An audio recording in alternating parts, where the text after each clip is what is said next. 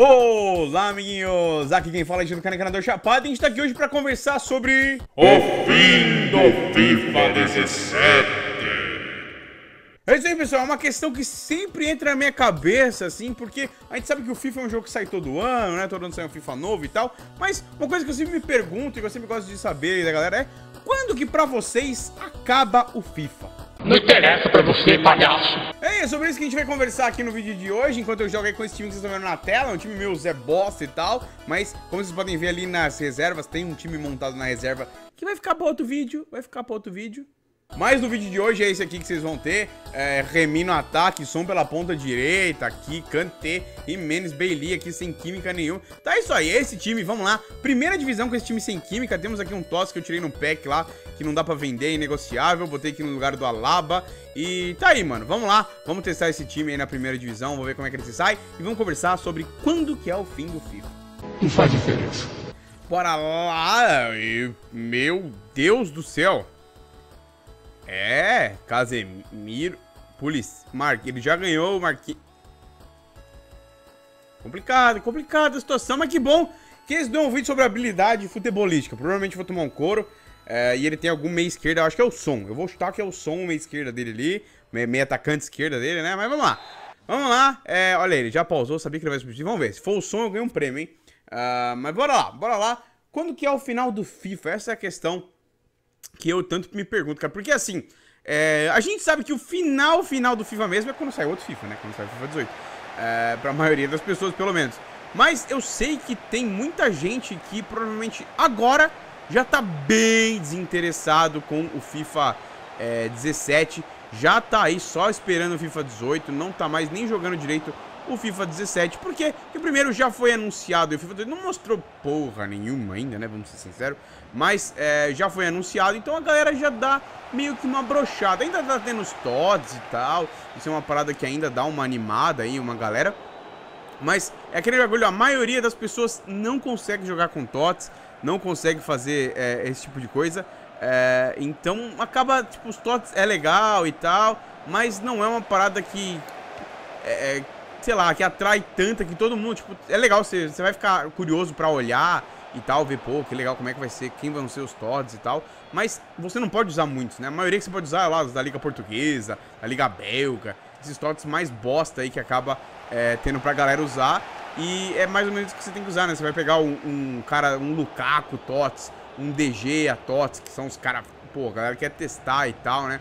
Quer dar uma olhada no Cristiano Ronaldo TOTS, provavelmente vai sair, Messi, Neymar. Você não vai ter como, cara. É muito difícil. É uma porcentagem muito pequena de jogadores que vai conseguir testar esses caras. É, então eu creio que o desinteresse no FIFA já vai começando a partir daqui, a partir do momento que o FIFA 18 é anunciado, né, cara? Eu acho que essa é mais ou menos a, o limiar, assim, que a maioria da galera acaba perdendo um pouco de interesse é, no FIFA 17. Por mim, eu vou dizer agora a minha experiência, tá? Geralmente, quando é, Nessa fase aqui eu já tô um pouco desinteressado no FIFA, vou ser sincero pra vocês. Apesar de ter a Weekend League ainda tal, mas até na Weekend League geralmente eu tinha o esforço ali de tentar ficar ouro 3 no mínimo tal. Mas agora nem mais isso eu tô tendo esforço de ficar, tá galera? Sei lá, tô, tô perdendo lá, eu jogo algumas partidas e se deu pra jogar tá bom, se não deu tá bom também, não tem muito problema. Tanto que aí nas duas últimas eu fiquei com mais de 20 jogos aí pra completar, né? Nas duas últimas Weekend League. Faltavam 20 jogos ainda pra jogar. Eu peguei ouro 2 e ouro 3. É, ouro 3 e ouro 2, né? Nessa ordem. É, e faltava ainda 20 e poucos jogos pra completar nas duas. É, então, pô, é, é, eu realmente não, não tô tão interessado assim. Eu tô mais interessado aqui em fazer o um vídeo pra vocês, em tentar fazer vídeo com os Legends e tal. É legal testar as cartinhas. Mas no jogo em si, em, tipo, em jogar o FIFA, realmente já tá dando aquela desinteressada monstra que a gente sabe que existe aí é, nessa fase do FIFA, né? Mas pra mim, geralmente, todo ano, geralmente, quando realmente o interesse re cai, assim, absurdo, mesmo que eu realmente para mim é uma tarefa complicada de jogar o FIFA é, do ano que passou, né, cara? O último FIFA, é, quando sai o demo. Quando sai o demo, a demo, né? Na verdade, o demo seria quando sai o capeta. E o capeta a gente sabe que nunca sai do FIFA. Mas, quando sai a demo do FIFA, aí, mano, o interesse vai lá pra baixo, vai lá pro negativo.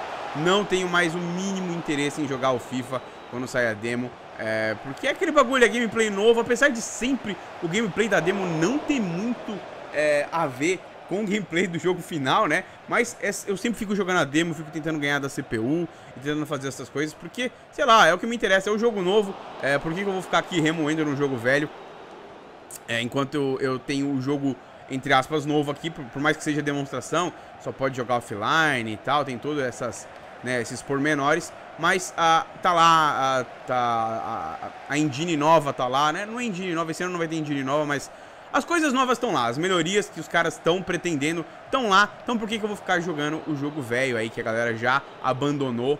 É, a gente sabe muito bem, né? nessa época geralmente quando sai a demo já parou de sair cartinha nova, sai uns Team of the Week lá, uns time da semana, mas acaba não saindo mais nenhuma cartinha muito especial assim.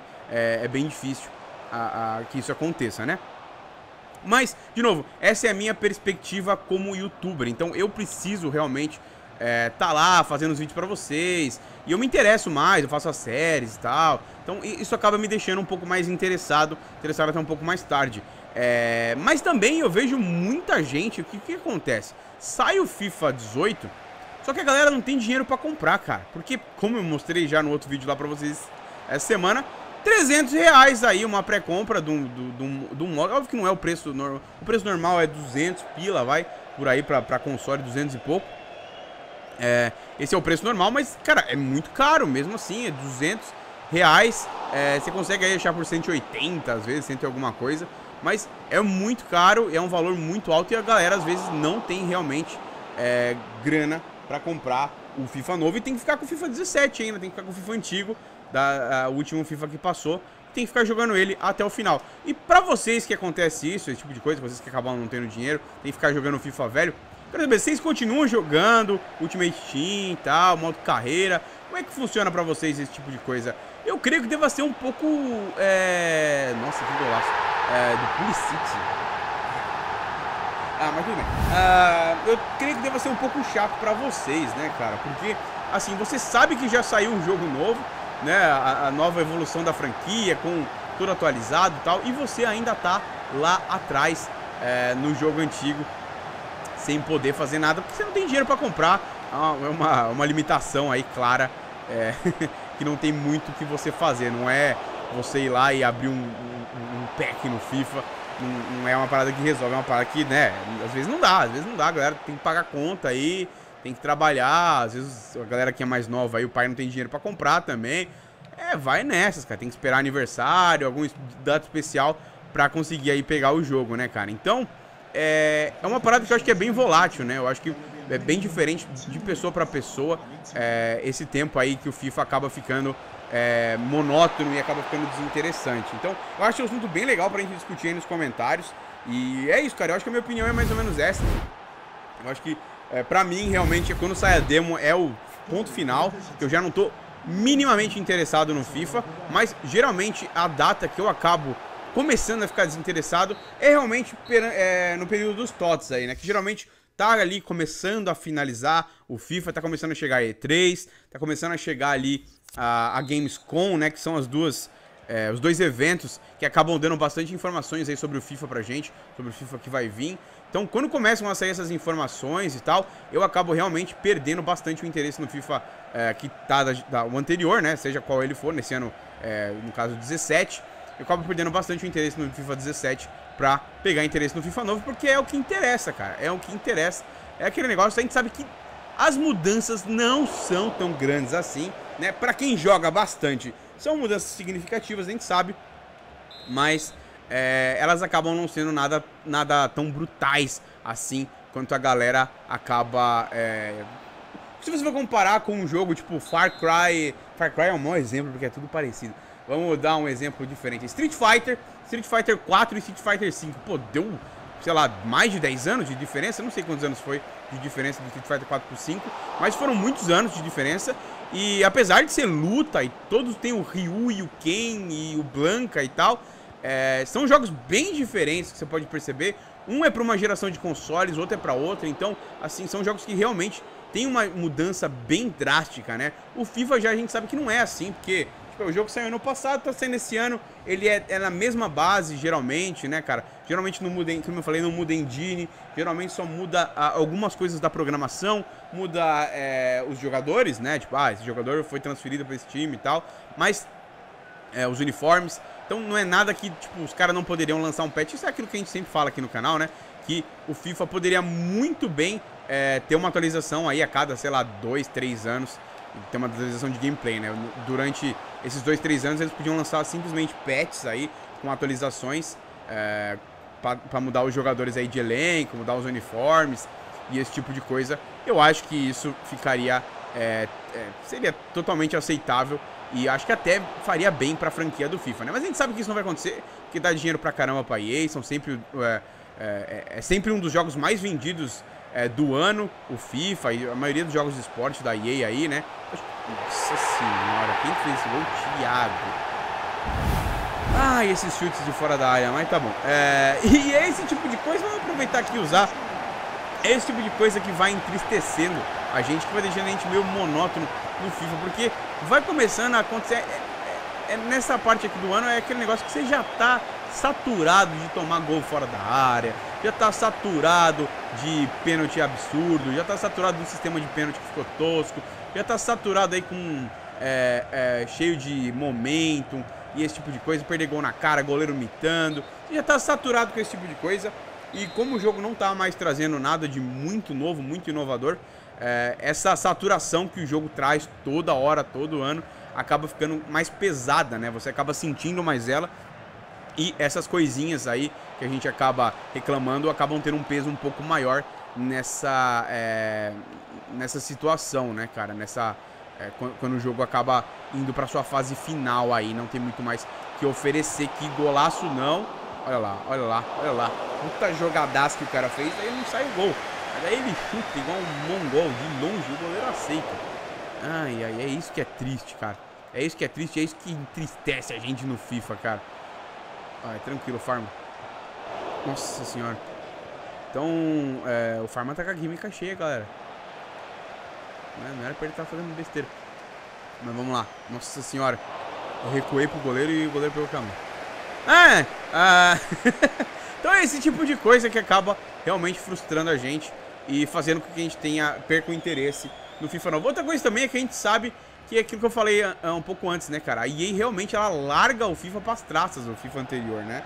Agora, pode ter certeza que, tipo, tá saindo aí as cartinhas TOTS e tal, mas que o foco que eles estão deve ter uma equipe J, equipe H, equipe Z que deve estar tá tomando conta aí dessa, dessa questão. A equipe A do FIFA, nossa senhora. A equipe A do FIFA deve estar tá lá tomando conta do FIFA 18, todas as coisas que tem. Isso tudo bem, não tem muito o que a gente falar, não tem muito o que a gente reclamar. Mas é um pouco triste pro consumidor, né? Porque a gente não vai ver muitas mudanças, vai ser a mesma merda, vai ter as cartinhas novas e tal, mas é, realmente mudanças significativas, olha aí como Jesus, amor. É, no jogo acabam ah, não acontecendo, né, cara? Então você acaba ficando preso ali naquele jogo que você já jogou o ano inteiro. Ainda a gente joga muito FIFA, se você comparar o, a quantidade de tempo que a gente gasta no FIFA com qualquer outro jogo, cara. É, talvez, né, a, tipo um CS, um, é, alguns desses jogos de multiplayer, World of Warcraft, esse tipo de coisa, talvez aí chegue perto. Mas eu ainda acho que, pra maioria da galera, o FIFA é o jogo que, é, que, que você mais acaba jogando, né, cara? É, você acaba jogando outros jogos aí, jogos jogos que tem campanha tal, ou até mesmo, até mesmo, nossa, olha a defesa, olha a defesa, agora foi frango. Uh, você acaba jogando, mesmo a galera que joga aí, eu sei que tem bastante hoje em dia tá jogando Rainbow Six, CS, esse tipo de coisa, mas a galera do FIFA realmente joga muito, muito, muito FIFA, FIFA, FIFA, FIFA e para um pouquinho para jogar ali, ah, vamos jogar hoje duas partidinhas aqui de Rainbow Six, vamos jogar duas partidinhas de CS, ah, vamos jogar aqui duas horinhas desse jogo aqui que tem campanha. E daí o cara vai lá e joga seis horas seguidas de FIFA. Ou também eh, tem a galera que só tem FIFA no console, então só joga FIFA, não joga nenhum outro jogo, porque é, ou não tem tempo, ou porque não tem dinheiro para comprar outro jogo e comprou o FIFA, porque sabe que é aquele jogo que ele sempre pode contar, né? Porque tá sempre ali, você vai, é, você vai ter jogo o ano inteiro aí para você é, jogar o FIFA, né, cara? Vamos lá, vamos lá. Então acaba tendo esses fatores também que eu acho que é, acabam é, influenciando nessa, nessa saturação que a gente acaba tendo aí, é, mesmo sem o outro FIFA sair, né, cara? Então, é, como eu não tenho essas, outras experiências, eu espero que vocês aí que as tenham uh, possam me contar aí nos comentários. Eu acho que é bem interessante esse assunto, é, pra gente discutir elas. É, esse é um vídeo que eu vou tentar ser bem ativo aí nos comentários, responder bastante a galera. Eu não tô conseguindo ultimamente, tá, tá, tá sendo um pouco difícil, galera. Me, peço até perdão pra vocês aí, tô sendo um pouco ausente nos comentários. É, e é foda, é foda.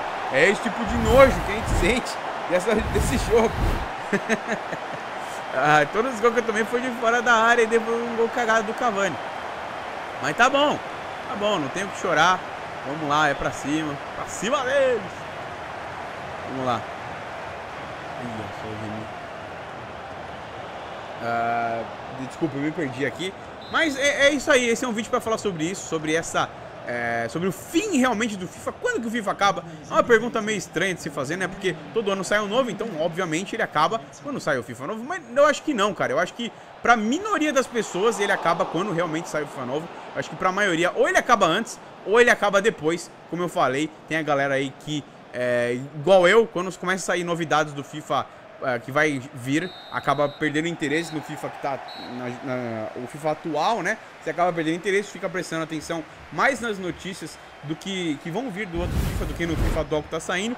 E também tem a galera que eu falei, não tem dinheiro às vezes para comprar um jogo novo, não tem dinheiro para comprar o 18 e acaba ficando com o 17 aí, ou com né, o FIFA da geração que tá é, por mais tempo até acabar. E, nossa senhora, travou o jogo. Que maravilha, né? Que maravilha. É... Olha só o que tá acontecendo. Não era pra acontecer isso. Mano do céu, velho. Olha só como tá, né? Por isso, isso que eu falei, por isso que o jogo fica pras traças. Como, um erro desse, cara, não é aceitável não, velho. Que merda é essa, velho? Olha só, acabou a partida já. Agora é a parte mais rápida. É, tipo, mandar a informação pro servidor e deu. Acabou a partida, já acabou. Não precisa mais rostear a partida. Ai, meu Deus do céu. Mas é isso aí, é isso aí. Vamos ver. É... Ah, vamos ver se volta aqui essa porcaria. É, vou esperar um tempinho aqui. Se não voltar, eu volto para encerrar o vídeo.